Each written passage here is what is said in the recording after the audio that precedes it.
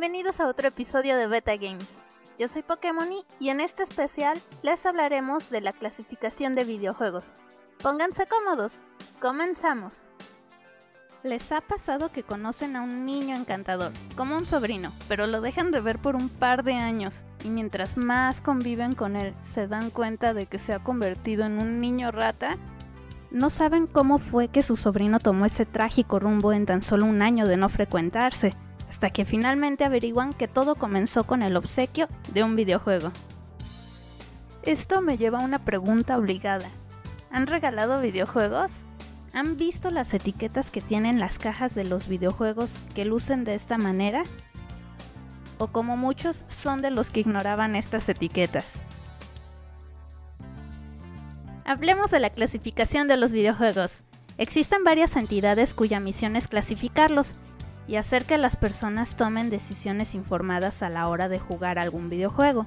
Están organizados por área geográfica y tienen ligeras diferencias entre sí, pero el objetivo sigue siendo el mismo, clasificar a los videojuegos de acuerdo al contenido y no por la dificultad. En Europa está PEGI, debutó en primavera de 2003 sustituyendo otros sistemas nacionales y es reconocido por Sony, Microsoft y Nintendo, así como por editores y desarrolladores de juegos interactivos de toda Europa. En Japón, quien se encarga de clasificar los videojuegos es Zero, en Alemania se utiliza la USK. OFLC en Australia y Nueva Zelanda. En Brasil, Class In. Y para América tenemos la ESRB. En el 2013 surgió una innovadora clasificación global por edades para los juegos y aplicaciones digitales. Esta refleja las diferencias culturales entre los países alrededor del mundo. Nos referimos a la IARC, Así los desarrolladores, al llenar un cuestionario en línea, pueden obtener la clasificación a la que pertenece su juego para cada territorio. Esta coalición incluye a los países recién mencionados. Esto es fabuloso, así nosotros como usuarios solo tenemos que comprender la que nos corresponde. Por nuestra ubicación geográfica hablaremos de la ESRB. Su misión es asignar edad y clasificación por el contenido de las aplicaciones y los videojuegos. Refuerza las reglas de publicidad y marketing en la industria. También eso ayuda a las empresas a implementar prácticas responsables de privacidad en línea y móviles. Pero eso para nosotros, ¿qué significa? Pues seguramente por eso las portadas de los videojuegos no resultan tan grotescas y perturbadoras aunque el juego lo sea. Desde luego que han visto las seis etiquetas de la clasificación por edad. Early Childhood, niños pequeños, dirigido al público infantil. Everyone, todos. Apto para todas las edades, puede contener un poco de violencia de caricatura, de fantasía y algo de lenguaje moderado. Everyone 10 Plus, o todos mayor a 10, el contenido apto para personas de 10 años o más. Puede tener un poco más de violencia de caricatura o de fantasía y lenguaje moderado y temas mínimamente provocativos.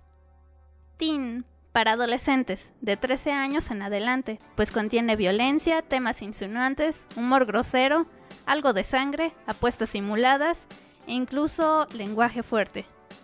Para el público maduro, de 17 años para arriba, este ya contiene violencia intensa, derramamiento de sangre, contenido sexual y o uso del lenguaje fuerte.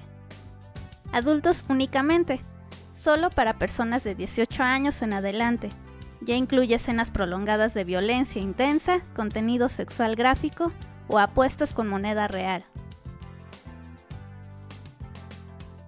La clasificación se compone de tres elementos. El primero, la edad apropiada. El segundo, la descripción del contenido, que indica lo característico del juego relatado concisa e imparcialmente.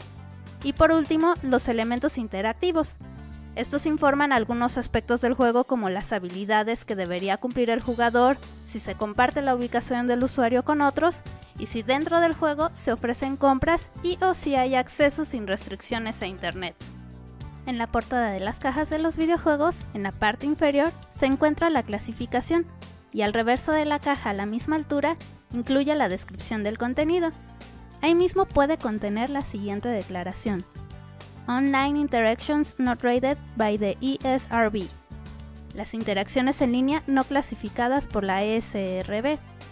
Esto se refiere a la posible exposición a contenido generado por el usuario, que no se haya considerado en la clasificación de ESRB, ya sea mapas, armas, modificaciones e incluso conversaciones entre los jugadores. Obviamente la clasificación también aparece en los juegos digitales, en la página de la línea de Microsoft Xbox Live, Windows, PlayStation, la Nintendo eShop, Steam, Google Play y la App Store. Las razones del por qué el juego tiene esa clasificación, su resumen, siempre y cuando sean de alguna consola, puede ser consultado en la página web de la ESRB y también en la aplicación. El control parental es diseñado para que los padres limiten el uso de la consola y videojuegos a sus hijos. Estas restricciones incluyen tipo de juego, de acuerdo a la clasificación de la ESRB, uso de Internet y el tiempo que se puede hacer uso de la consola. En la descripción les dejamos el link de la guía para activar el control parental de las consolas. Todo lo anterior es para informar y sugerir el contenido apropiado para las familias, en ningún momento prohibir. Finalmente, la decisión está en sus manos, pero por sentido común, a un pequeño de 6 años bajo nuestra responsabilidad, no lo dejaríamos entrar a un men's club, así que de igual manera no le permitiremos el acceso por la pantalla que juegue títulos para adolescentes o adultos, por la clase de lenguaje, ambiente y exposición sexual o violencia. En Beta Games estamos convencidos que los videojuegos son de las mejores cosas que hay en el mundo. Te ayudan a aprender otro idioma, convivir, tomar decisiones, desarrollar la percepción, coordinación y otras habilidades cognitivas, más aún a temprana edad, pero siempre con responsabilidad.